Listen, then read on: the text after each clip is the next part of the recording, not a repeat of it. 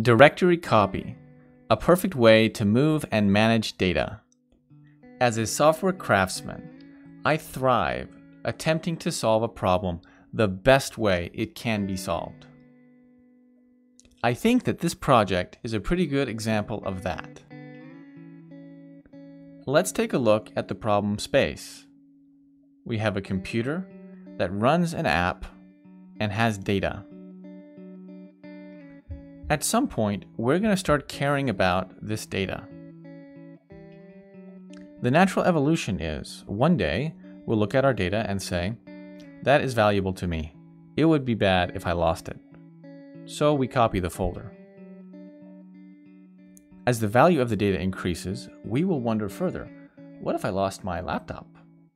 So we buy an external drive and copy the folder to that drive we're still not done worrying. What if somebody took my entire bag with my laptop and my backup drive? So we copy the data to the company network. Worrying pays when it comes to data. So we worry once more. What if something happens to the company network? Easy. It's called the cloud, right? At this point, I think we could probably say we have our bases covered. Except, we've created a ton of work. We've created several different ways and places to copy our data. And it's becoming quite the headache to keep track of all of it.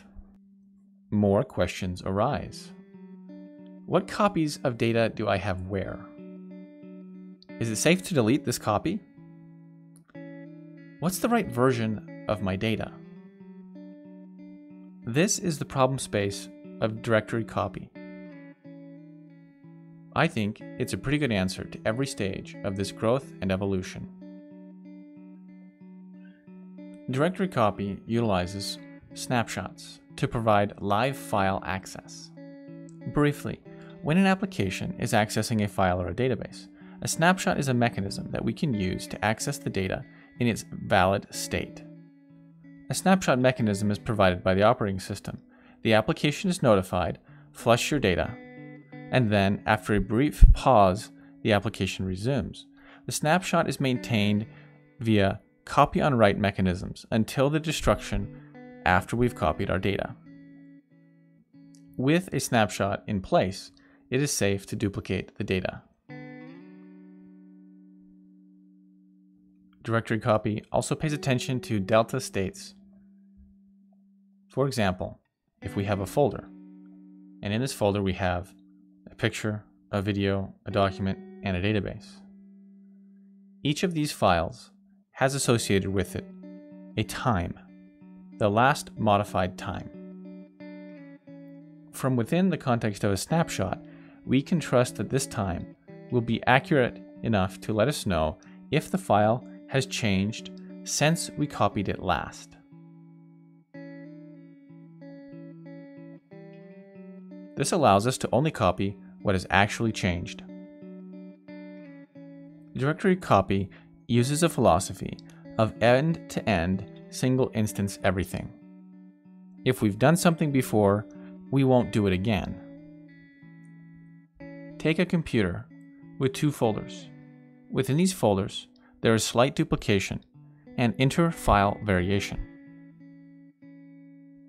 If directory copy has encountered a file before, that file will be discovered through a database query. Novel files that haven't been encountered before will be encoded and transported. Transportation, encoding, and storage only occurs once. Blended files, or files that contain some of the same data, will also be optimally encoded and transported, just the new blocks. All of these features are also available over a network protocol. We can query for existing blocks and also transport encoded blocks. What to look for in the coming demo. Directory copy is open source modern C++ test-driven development, it uses VSS snapshots, delta tracking, and single instance everything philosophy. Local folders or TCP protocol images are supported. Directory copy implements a command line interface that allows you to copy and fetch folders. Shallow and deep validation of that data is provided. Indexed image searching for file names is also available. Single objects can be fetched. Entire objects can be enumerated. Delta states can be checked. Files are divided into blocks. These blocks are salted and hashed. We can query the database for any of these blocks. Also, we have access to query based on the file hash, which allows us to screen for viruses and such. This project is built with other open source projects. Let's take a look at directory copy in action. This backup.json script is configured to back up about 500 megabytes of incompressible data. It's configured to run without any throttling, so it'll do a number on the CPU. I also had to change the priority of the OBS process just to be able to even record this.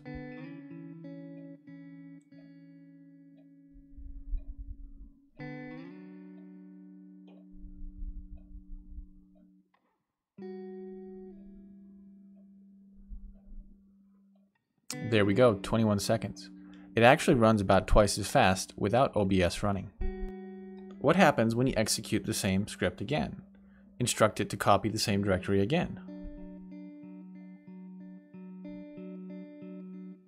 Yeah, that's what I thought. It checked the delta state and could tell that everything was the same as it was last time it finished backing up. What if we delete the snapshot, which is stored over here in the snap folder, and run the test again?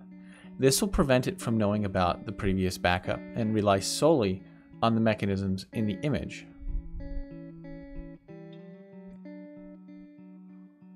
Yeah, well that didn't take very long either.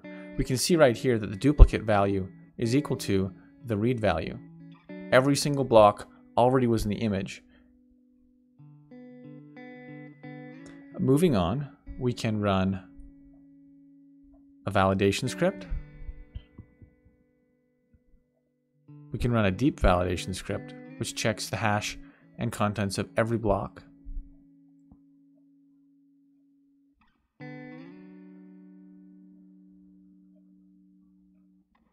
Looks good. And we can restore the folder.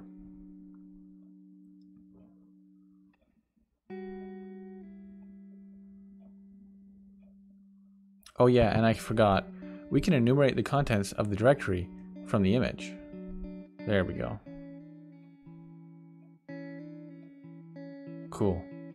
As a final test, let's ask a third-party application if the data we restored is the same as the data we copied.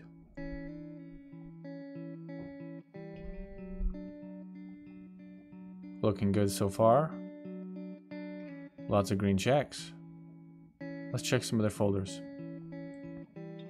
Good and good.